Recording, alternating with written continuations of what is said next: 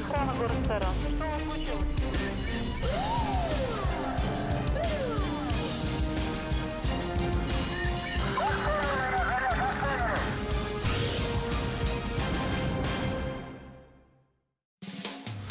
Информационный спонсор программы происшествия – радиостанция «Милицейская волна Саранск» 105 и 6 FM. Совсем недобрая ночь ожидала жителей многоквартирного дома по улице Есенина Саранске. 20 июля около половины десятого вечера на пульт пожарной охраны поступило сообщение о возгорании в бывшем общежитии. На тушение были направлены пожары спасательные подразделения сразу из нескольких частей города. С торца здания происходило горение с третьего этажа, была угроза распространения огня на четвертый этаж. А, ну, Было создано два звена ГДЗС, одно на защиту э, вышележащих этажей и на тушение пожара. Вечером большинство жильцов находились дома. Когда едкий дым стал заполнять коридоры и комнаты, многие начали самостоятельно выходить на улицу. Другим помогали сотрудники МЧС. Детей и пожилого мужчину, страдающего астмой, они выводили в спасательных масках. Всего на улице оказалось 47 человек. Правда, некоторые решили задержаться на свежем воздухе. У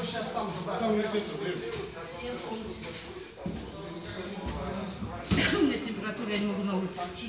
Пожарным пришлось живым щитом вставать в фойе первого этажа, чтобы предупредить отравление. Попасть в горящую квартиру спасатели не смогли. Дверь оказалась закрыта. Ее скрывали специальным инструментом. На момент вскрытия квартиры, значит, э, никого не было, значит, происходило горение э, внутренней отделки Площадь пожара составила порядка 20 квадратных метров. Больше всего дыма скопилось в квартире на этаж выше. Дверь в нее тоже была закрыта. Сотрудники МЧС проникли в комнату через окно по автолестнице. Никого из людей там не оказалось. Владельцы были на даче. Сейчас специалисты устанавливают, от чего могла загореться квартира. Анастасия Семушева, программа «Происшествие».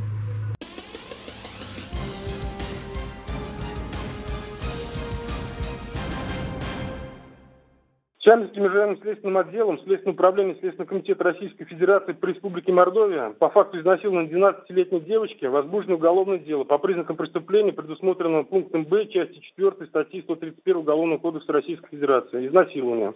Следователями Челябинского межрайонного следственного отдела во взаимодействии с сотрудниками полиции по подозрению в совершении преступления задержан 43-летний житель республики.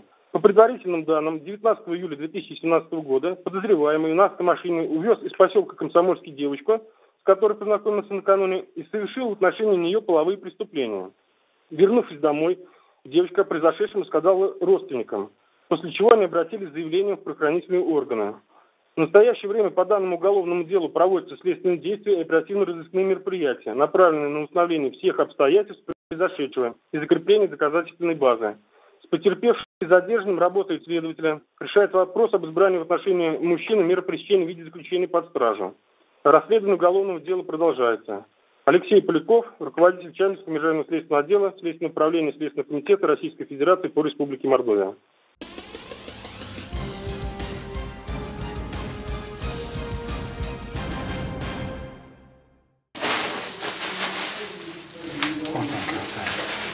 70 преступлений выявлено и более 11 килограммов растительных и синтетических наркотиков изъято.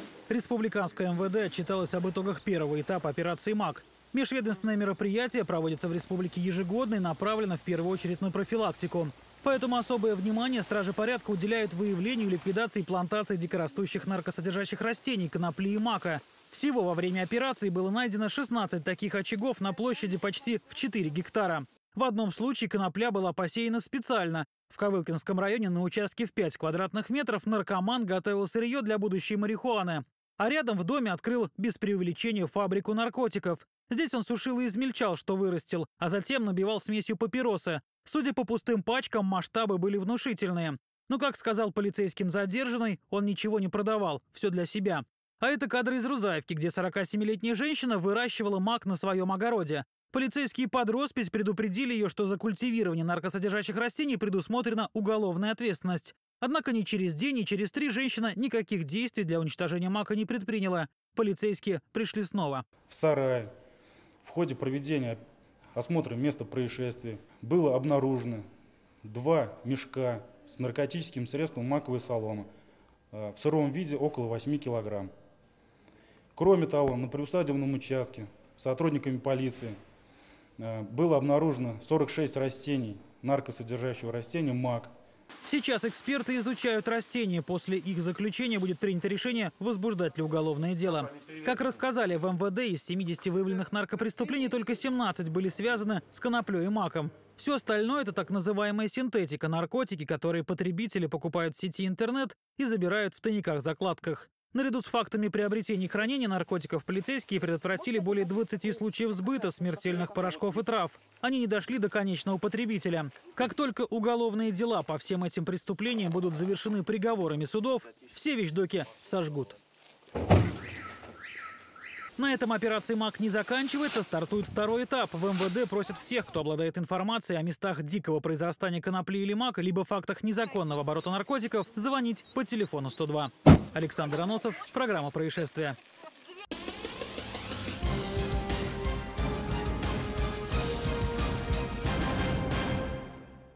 Четвертый отдел полиции Саранска разыскивает без вести пропавшего Костромкина Александра Анатольевича 1972 года рождения. Его приметы. На вид 45-48 лет, рост 170 сантиметров, лицо овальное, плотного телосложения, глаза светлые. Был одет коричневые джинсы, кроссовки голубого цвета с подошвой белого цвета, коричнево-зеленую толстовку с горизонтальными полосами на груди. Если вы располагаете информацией о месте нахождения Костромкина, просьба сообщить по телефонам 29 77 44, 29 77 01 или 102. Отдел уголовного розыска межмуниципального отдела МВД России Ковылкинский разыскивает без вести пропавшего погибшего Федькина Николая Ивановича 1949 года рождения, который 11 мая в период с 8 до 10 часов утра ушел из своего дома и до настоящего времени его местонахождение неизвестно.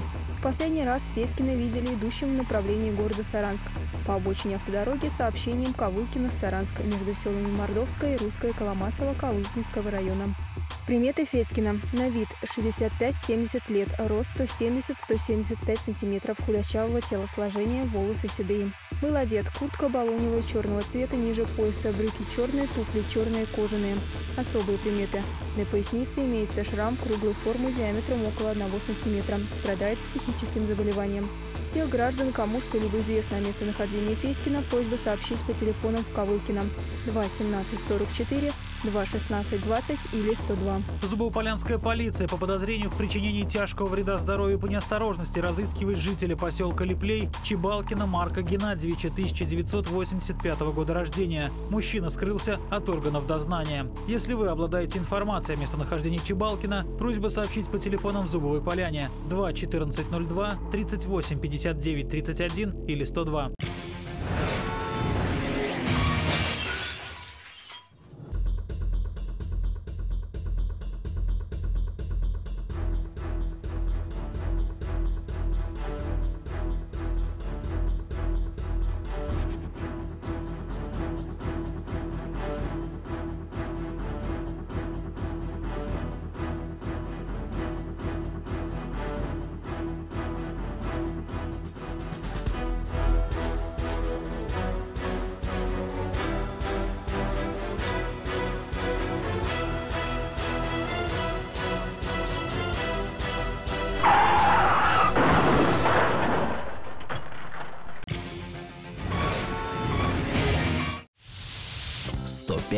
И 6 FM. 105 и 6 FM.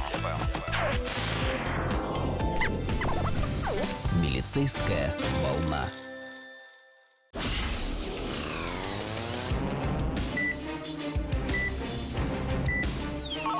Пожарная охрана город Саранск. Что случилось?